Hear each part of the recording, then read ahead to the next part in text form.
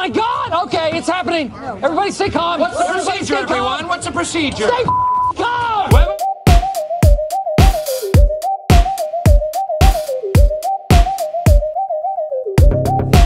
The second workout in the 2019 GSO is called Jack the Gripper. It is a nine minute AMRAP.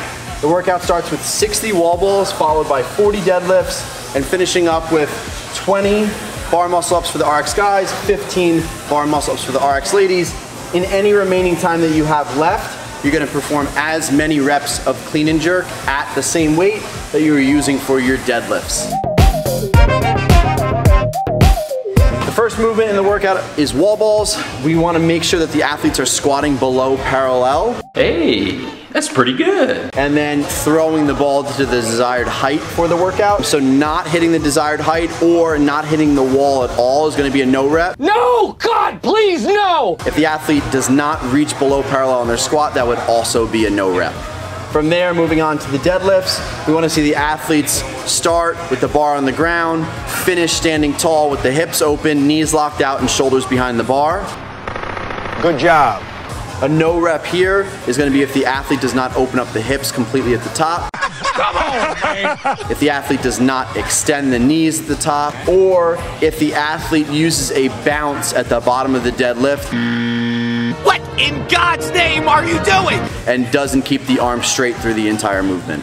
From there, our RX and Masters division will be moving into bar muscle ups. On the bar muscle ups, we're looking for the athletes to start with the arms fully extended in a hanging position and then finish on the top of the bar again with the arms fully extended. A no rep here on the bar muscle up is going to be if the feet come above the height of the bar when performing the kip or if the athlete does not fully extend or lock out the elbows on the top of the bar muscle up. For our scale division that will be performing pull-ups instead of bar muscle ups, we wanna make sure that the athletes are starting in the same position, meaning the arms are gonna be fully extended hanging from below the bar. The athlete can perform a strict pull-up, a kipping pull-up, a butterfly kipping pull-up, uh, a mixed grip will be allowed as well. We wanna make sure that at the top of the pull-up, the athlete's chin is breaking the plane of the bar, so coming on top of the bar, and at the bottom of the pull-up, the athlete is coming back down to that fully extended arm position.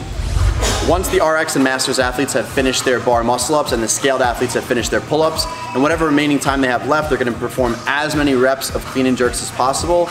On the clean and jerks, the athletes will be allowed to squat clean the bar or power clean the bar. On the jerks, they will be allowed to do a push jerk or a split jerk. If the athlete chooses to do a push press or a press, that would be allowed as well. Good rep obviously starts with the barbell on the ground, comes up, makes contact with the shoulders, and then finishes overhead with the arms locked out, athletes standing tall with the hips and knees locked out, in control of the barbell. A bad rep here is going to be if the athlete performs a rep from the hang. No, no, no, no, no or if the athlete chooses to do a split jerk, does not bring the feet back together, or if the athlete does a push jerk but doesn't have control of the bar at the top and does not lock out the elbows.